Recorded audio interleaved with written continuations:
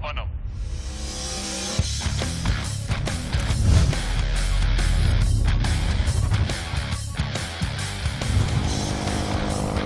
Jaguar malam ini berpatroli ke daerah yang masih dianggap rawan.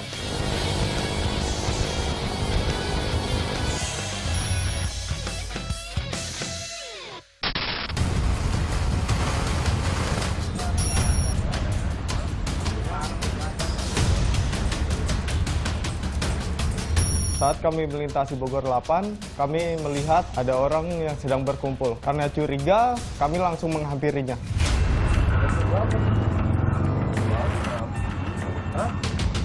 Dari mana? Saya dari rumah, Enggak, dari mana? Ya rumah, rumah mana? Ya, tiga nangka sih. dari Nangka. Bapak dari mana? Mati dulu rokoknya. Kerja apa, Pak? Saya di Tukik Pak? Hah? Oke, iya, kalian di mana? Saya bantu warung, bantu warung. Iya, Pak. Coba dicek ke tujuh. Coba, diri dulu, Pak. Tunggu dulu, Pak. Siap, siap. Cek dulu ya, Pak. Ya. Oke, siap.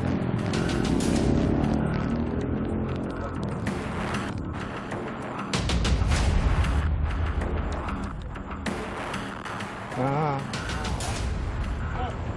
Ah. Apa itu? Ya. Kamu dari sini ke sini. Aku di sini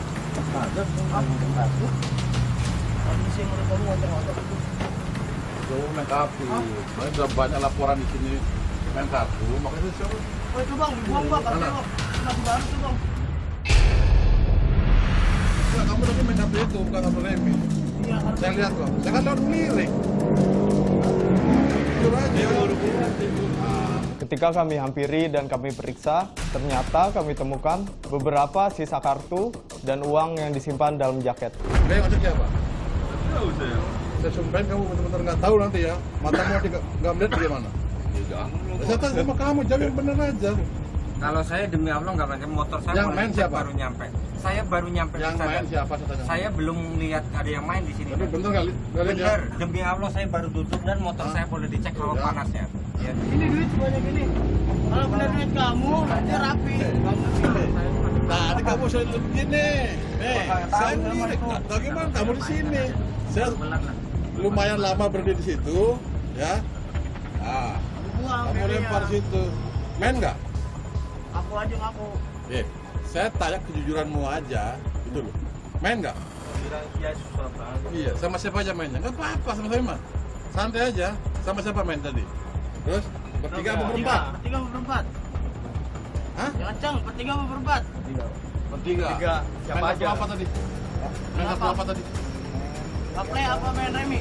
Ah, saya bakal bilang kamu begini tadi. Saya lewat tuh kamu begini, makanya saya berhenti itu agak lama. Kamu tadi main kan? Kalau kalah semua yang menang siapa tuh Yul? Kalah. Kalah sih. Hah? Yang menang. Warung yang Ah. menang jajan semua. Eh, Pak. Apa kalah apa menang? Hah? Iya, ketawa-ketawa. Eh, saya tanya, kalah apa menang? Ngising dengan pati. Enggak, kalah apa menang tadi? Awalnya mereka tidak mengakui mereka sedang bermain judi. Namun setelah kami dapati beberapa kartu dan uang yang disimpan, akhirnya mereka harus malu mengakui perbuatannya. Pak. Siapa namanya? Ini Bapak buang kartu tadi. Eh. Iya, Pak. Nah. Tadi buang kartu. Kenapa Bapak. Hah? Kayak Bapak. Jadi kalau menghargai kita, Bapak jangan main. Ya. Maaf ya. Kan? Jadi begini, Pak. Coba. Ini adalah permainan yang dilarang. Iya, Ya. Pak. Betul, betul, betul. Jika Bapak lakukan, ada konsekuensi hukum yang harus Bapak tanggung nanti. Ya. Khususnya malam ini karena Bapak sudah jujur. Ya. Ini yang pertama dan terakhir saya peringatkan. Jangan lagi main judi di sini. Ya. Kalau besok-besok saya lewat dan saya temukan Bapak, Bapak saya pastikan depan ini. Iya. Ya. Kita paksa nanti Bapak saya bawa ke ini. Posek. Pertanggungjawaban permainannya. Nanti saya buat kartunya ya. Siapa? Nanti saya tinggal ke patroli lain, Bapak main lagi. Siapa? Ya, Ya. saya buang ya. Kemudian kami himbau agar tidak mengulanginya kembali. Kami pun langsung melakukan perjalanan kembali. Kemudian tidak lama kami menemukan sekelompok pemuda yang sedang nongkrong dan kemudian kami periksa.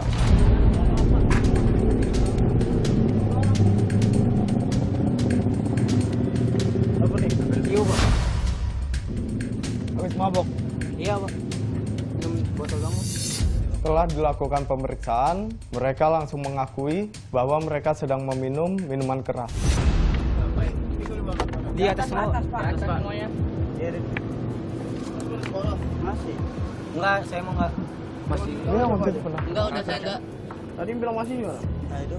Lu masih? Kalau di mana? Di Nah, udah doyong. Habis satu botol apa nambah satu botol? Satu doang, Pak. Nambah satu. Enggak, satu doang. Nambah satu apa minum satu?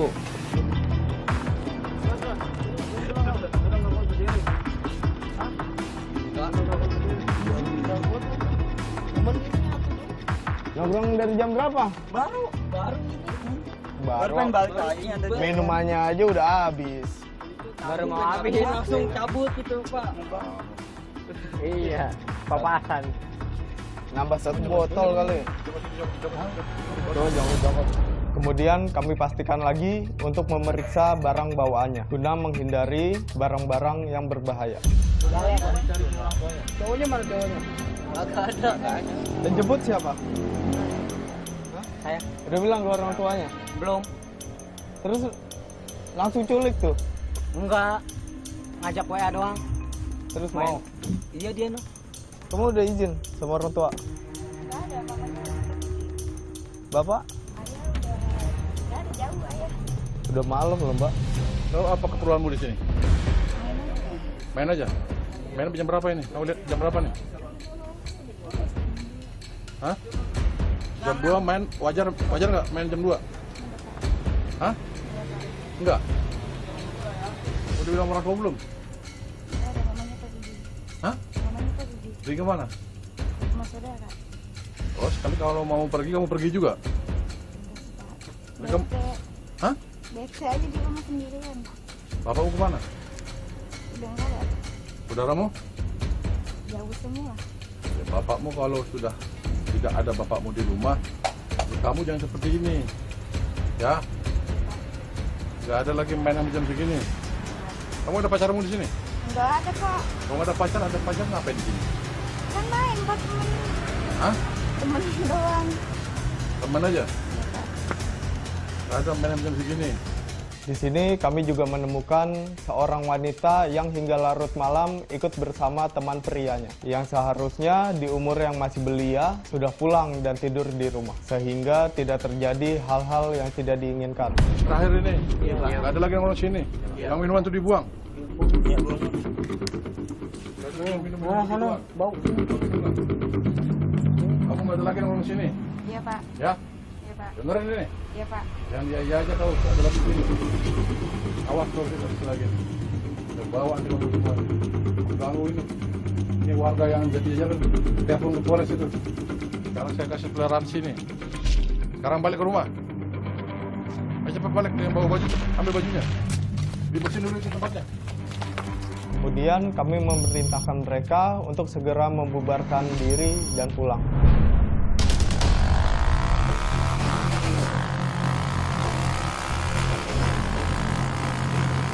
Pada saat kami berpatroli, kami melihat banyak motor yang melintas kencang di depan kami. Kami pun langsung melakukan pengejaran.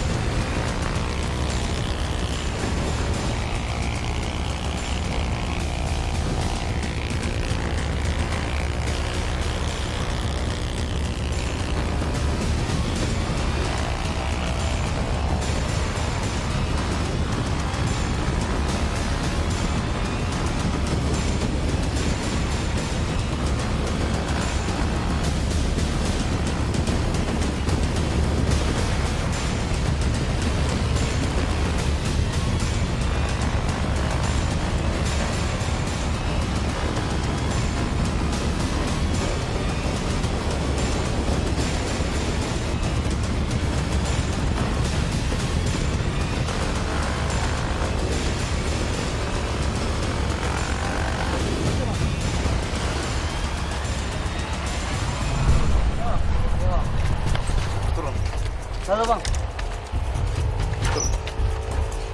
Kenapa sih kabur? Nggak tahu mas saya pak, saya memang baru datang. Tinggi di teman saya. Didapatilah dua pengendara yang tidak menggunakan helm beserta tidak membawa surat-suratnya. Enggak, kamu dari sekolah mana? Saya dari Jakarta bang. Jakarta mana? Ini yang Jakarta Selatan. Selatan. Ngapain kamu ke Depok-Depok? Saya ma- main ke rumah teman saya. Tadi ada yang bercelurit nggak? Nggak ada bang, ada, cuma Bang. itu demi aja Allah. pengen katanya nyari setan-setan Iya, itu. ya setan. Di mana? Di jembatan, jembatan yang kata ada dua tuh. Di mana? Nggak tahu saya juga, saya juga baru tahu dari sini. Oh ini. Enggak, Bukan bang, ketemu. enggak nemu saya. Iya, ini punya dia. HP lu mana? HP lu? Mati. Coba sih. Jalangkung, jalangkungan kamu bikin. Enggak bang, demi Allah. Di, di sekolah nemu. Eh. Dia beralasan dari Jakarta Selatan menuju Depok untuk berburu hantu. Saat kami mengecek dari kendaraan bermotornya, kami menemukan hal-hal yang ganjil. Tadi kamu di kenapa nggak berhenti di suruh berhenti empat ini anggota saya di kenapa nggak berhenti Hah? Kan yang mau pak, yang bawa bukan saya. ya kamu suruh lah berhenti Kamu kan bisa tahu tiba-tiba pas dia ini kan, pas anak-anak pada ngat ke belakang. Apa nih? Kira saya ada ini yang geng motor. Apaan? Motor gimana? Kamu yang kayak geng motor, datang rame-rame pada ngebut, disuruh berhenti nggak ada yang mau berhenti. eh, kamu pegang-pegang apa itu? Terus saya nemu ini. nggak tahu. Oh nemu terus kenapa tulis itu apa itu? Enggak pak, saya kan kemarin saya kan sekolah, nemu di sekolah. Gak apa-apa pak, di rumah. nemu di sekolah terus kamu simpan? Hah? Aneh-aneh saja kelakuan dua remaja ini yang masih menggunakan benda-benda mistis. Bikin jalangkung, jalangkung kamu tadi jembatannya ya? Mau bikin Enggak pak, saya nemu.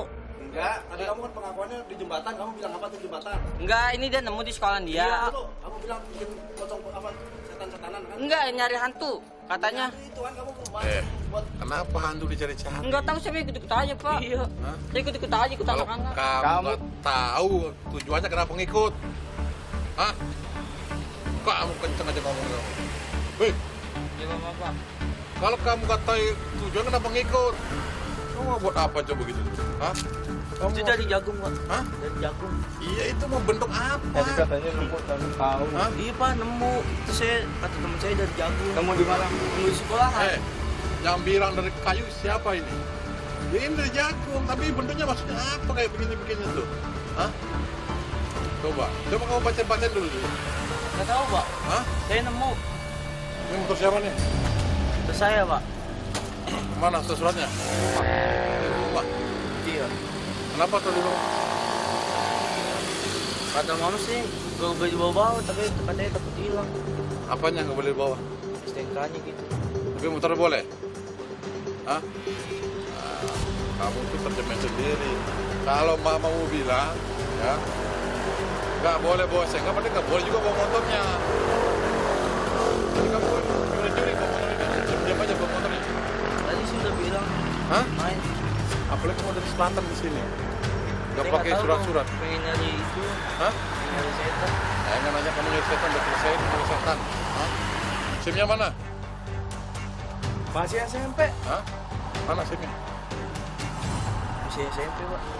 Nggak saya tanya, nggak kamu SIM-nya mana? Kan nekat banget bawa motor. Masih suruh bawa motor ya udah saya bawa. Disuruh Eh. orang juga mau. Mana SIM-nya? Dul, mana SIM-nya? Nggak punya pak. Nggak punya? Kamu nggak punya SIM nggak boleh naik motor. Iya pak. Hah? Tahu kamu itu? Eh, bapak kasih nama aja. Ini. Ya. Kau juga itu, ya. Nanti biar orang kamu dipanggil nanti. Sama orang polsek, ya. Selanjutnya kami membawa dua remaja tersebut menuju Polsek Sukmajaya dikarenakan tidak dapat menunjukkan surat-surat kendaraan bermotornya. Kami pun langsung melaksanakan perjalanan kembali.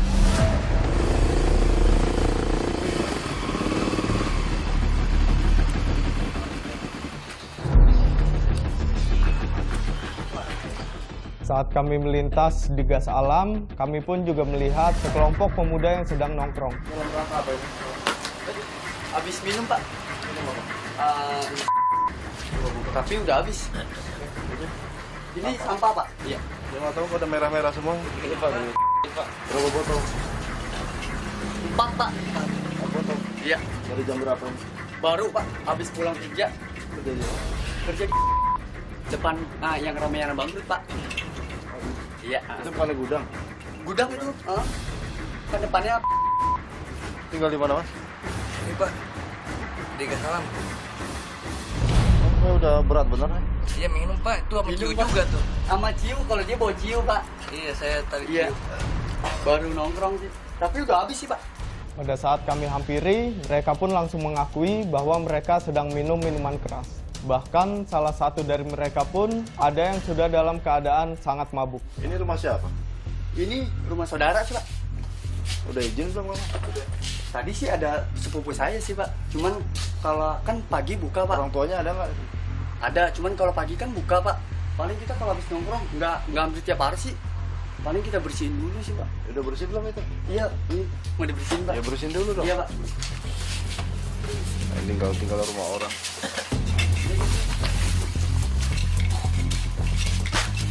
Satu bang, ada satu bang. Ada satu. Ada satu di belakang, belakang. Dua, dua.